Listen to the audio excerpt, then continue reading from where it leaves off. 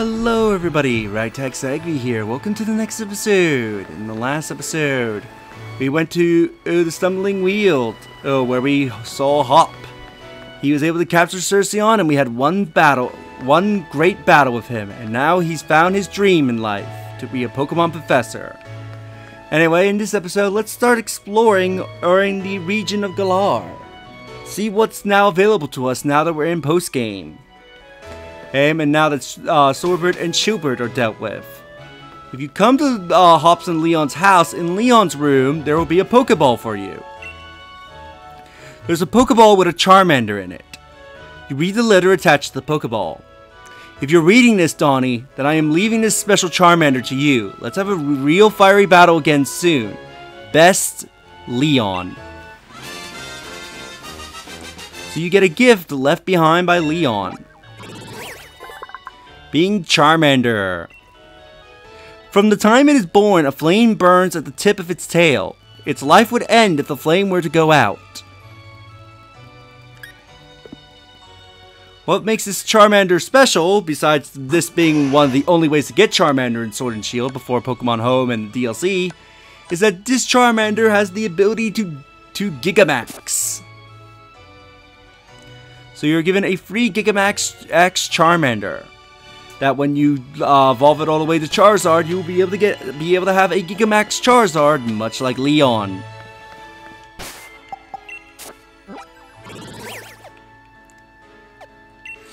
Now let's quickly head to, to Professor Magnolia's house, because there's a water route here that we can access. Here you'll be able to see and find Pokemon you would accidentally run into uh, that you may not be able to normally find elsewhere. There's a particular Pokemon in this route I want to capture for later.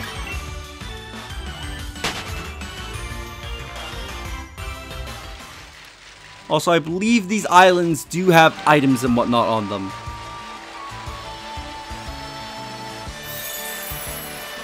You want to head to this little corner out here to find a wild Obstagoon.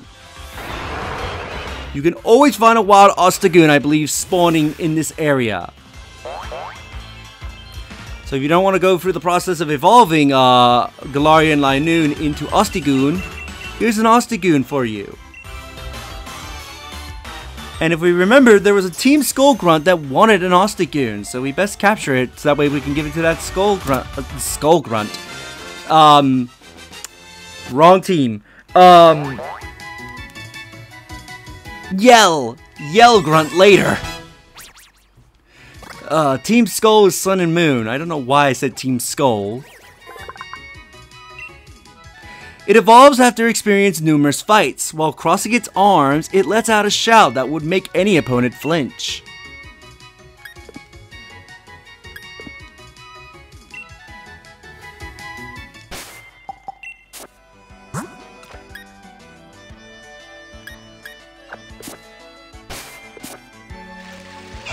Item from that, uh, I believe, yeah, there's this Pokemon you can capture normally. Can I get around without starting a fight? There we go. Here you can get TMM69 Psycho Cut. The user tears the target with blades formed by psychic power. Critical hits land more easily. Trying to make another person Pokemon on Trying to take another person's Pokemon makes you no different than a thief. Pokeballs only only to be used to catch wild Pokemon that have no trainers. I don't know why they put this sign so far out of the way.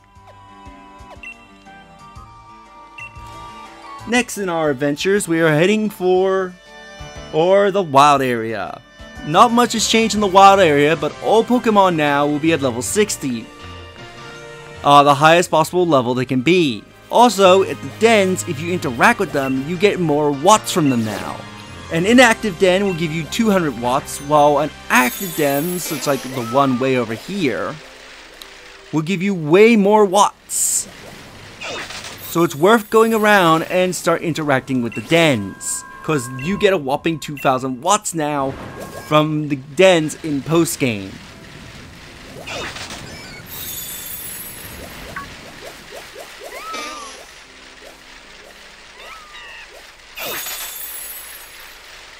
There's also this guy that I forgot to interact with.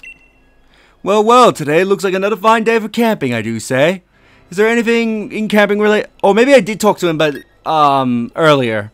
It says I never came back to rate my Dex. First, I'll tell you about the mysterious disc is curry. Er, everyone's called curry. Everyone in Galar has been hooked on it. To start, you'll need to mix in a berry to make the curry. Then cover over a grain called rice in it.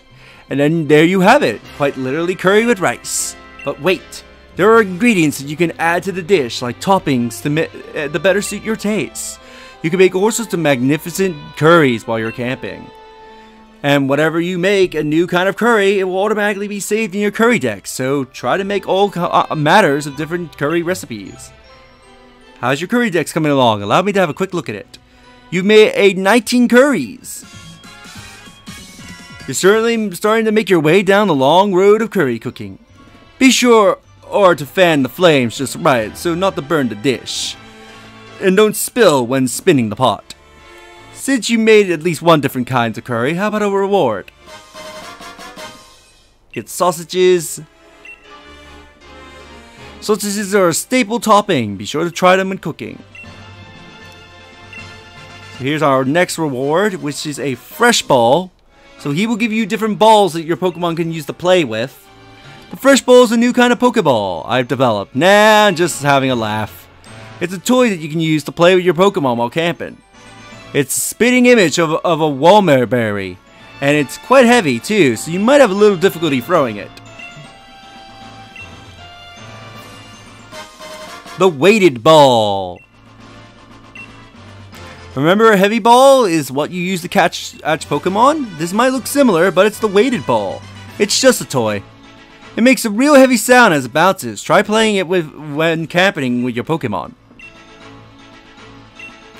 I think for every five new types of curries you make, he gives you a reward. The Sooth Bell makes a sound, sound like a bell when you throw it.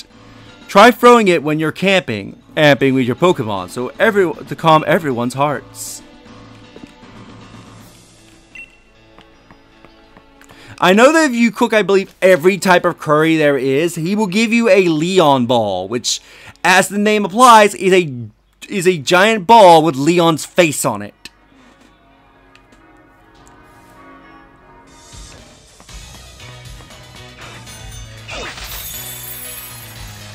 Right now that we're in Motostoke, there's a few things we can do here in Motostoke.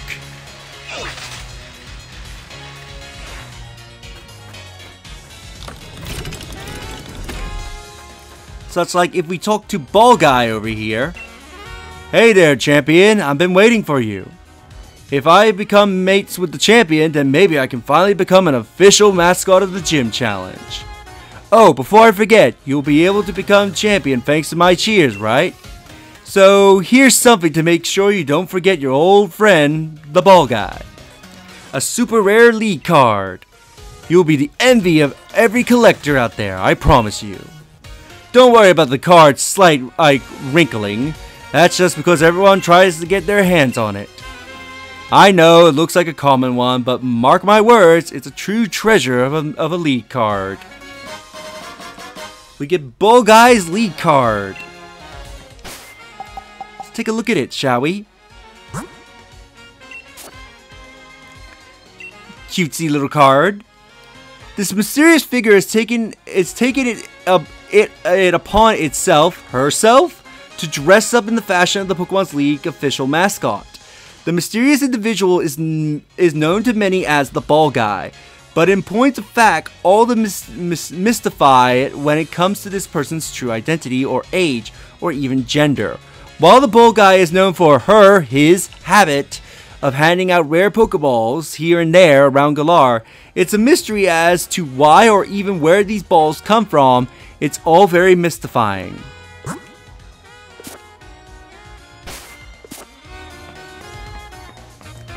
there's that. There's two other things we can do here that's worth note in um, the in Motostoke, which first off is at the hotel.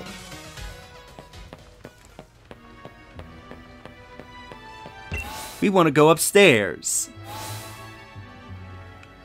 Now, I believe it's one of these rooms we need to check. No. This door? No. I know it's one of these rooms we need to check, but I can't remember which one it is. Here we go. Watch this.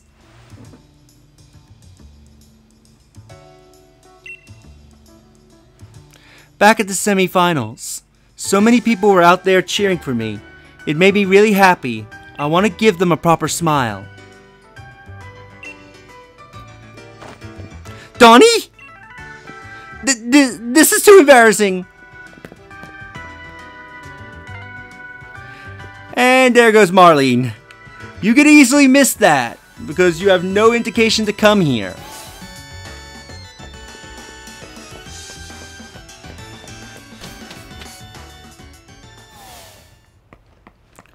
Now, one other thing to do here in Motostoke is we want to come down here. As you remember, there was a guy down here that said he wanted to see us when we became champion. Ooh, item. X accuracy.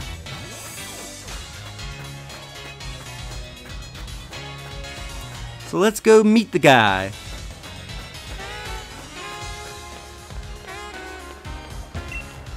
Eek! Champion! Do you want me to teach your Pokemon the, on the marvelous move Steel Beam? See you!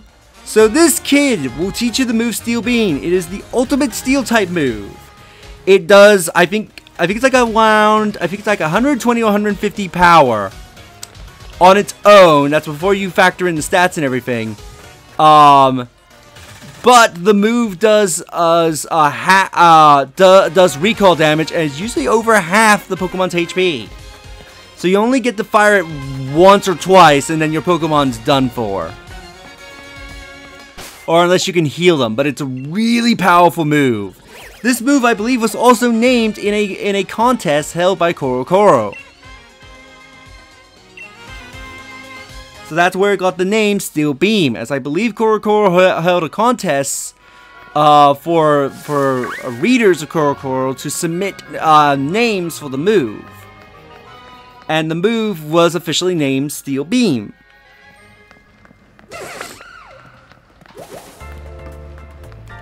Now, there's nothing in Turffield, but if you come here to the Galar Mine, there is something here for you. Uh, if I can find it. I know it's here in the Galar Mine, but... We come this way and... Yep, there she is! Olivia will be hanging out here. Oh, champion. I never thought I'd do run into you in the mines. I've been doing some voluntary community service on Mr. Rose's behalf. Mr. Rose, a long time ago, he used to work in, the coal, in a coal mine, you know. That's why I'm actually happy doing this kind of work. Yes, I am so happy that I think I'll give you one of my prize league cards. You don't need to worry. I have hundreds, hundreds of copies of Mr. Rose, O's league card. They're all signed, too. You get Rose's rare league card. Champion, Thank you for stopping Eternatus. I know Mr. Rose feels the same way, but he has just so... But he was so worried for the future, uh, worried about the future.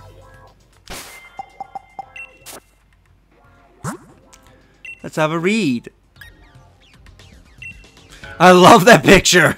It's like, yeah.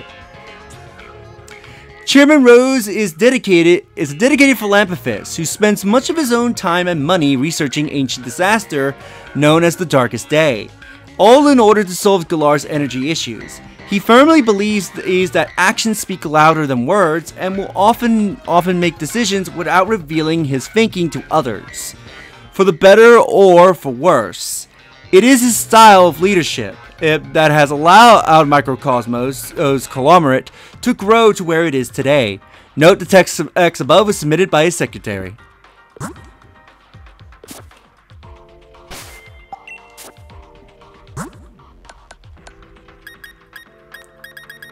So that's done.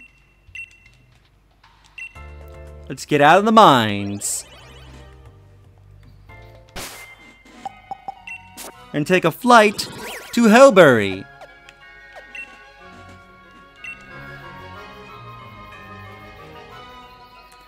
Uh, I think I will quickly update my league card and then we'll do the last thing we'll do in this episode, which is here in Hulbury.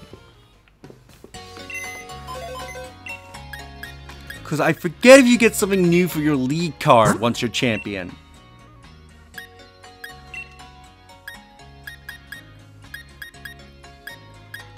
Uh, doesn't look... Unless you get these colors, not anything too fancy. Effects. Hey, rainbow. Ooh, that looks cool.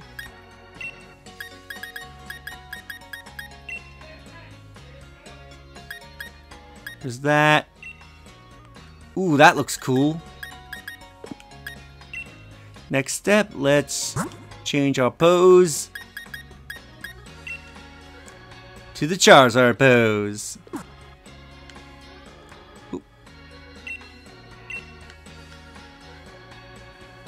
Yeah, that looks cool. Oh!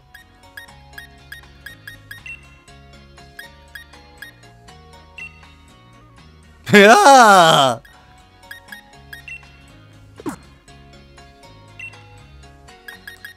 We got bubble foil.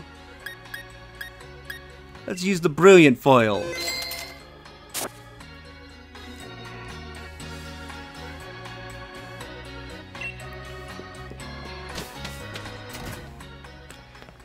Let's do the last thing we can do here in Hulbury.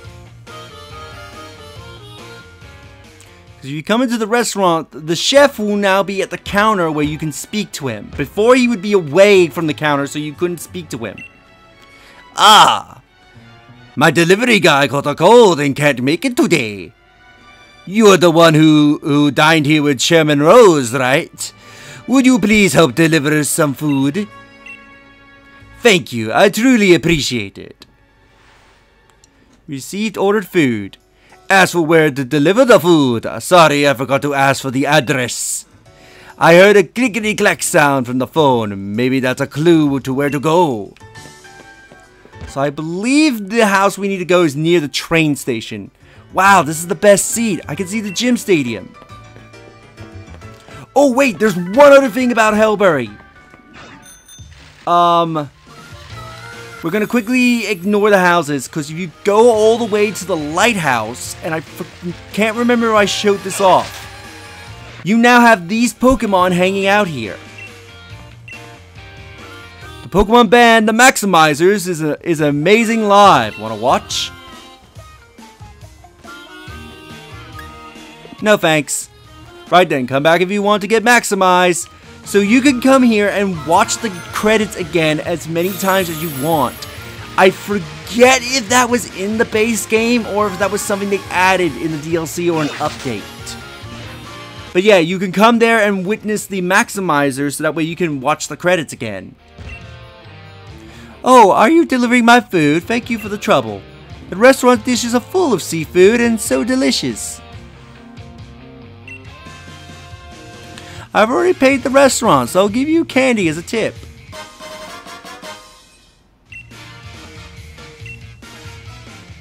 Got a large candy. Now back to the restaurant. We're basically being an Uber, an Uber delivery eh, driver at this point.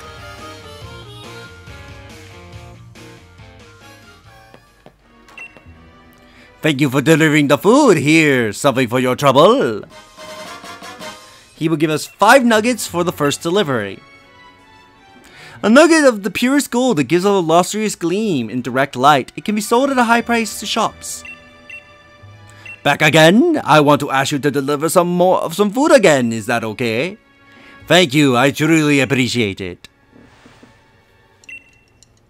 As for where to deliver the food, sorry, I was an idiot and forgot to ask for the address.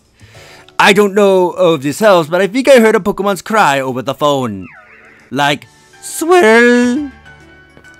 So we need to look look for a Pokemon that makes that noise. Uh, let me see. You make meowing noises, so you're not it. I believe it's in one of the houses. It's one of these houses here. You go diggity dig. You have no Pokemon.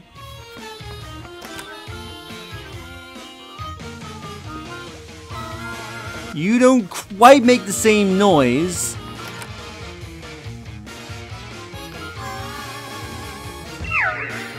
But you do, which is why you have to interact to you because it doesn't show you the bubble. Ah, I'm starving. Oh, I smell the ocean. You're from the restaurant, aren't you? I've been drooling while waiting for the food. Thank you for delivering the food. You get energy from food. You should eat balanced meals.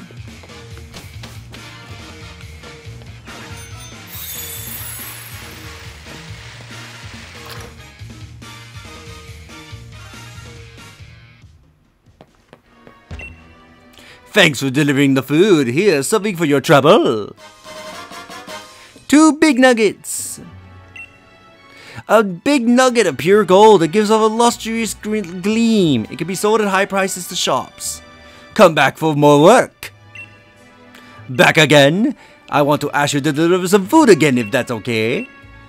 Thank you, I truly appreciate it. As for where to deliver the food, sorry, I am a complete dumbass for doing this a third time in a row. I forgot to ask for the address. The customer told me to look for a green roof, but I wonder if there is such a house in Hulbury.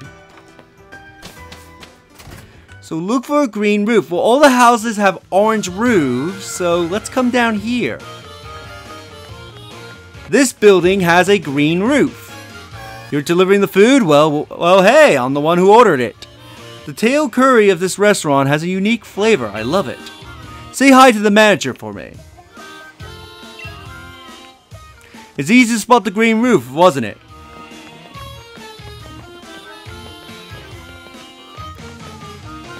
What in the world was that? So everybody's talking about Eternatus. Thanks for delivering the food. Here's something for your trouble. This is a little token of my gratitude. Please take it. For doing all of his deliveries, we get the lucky egg.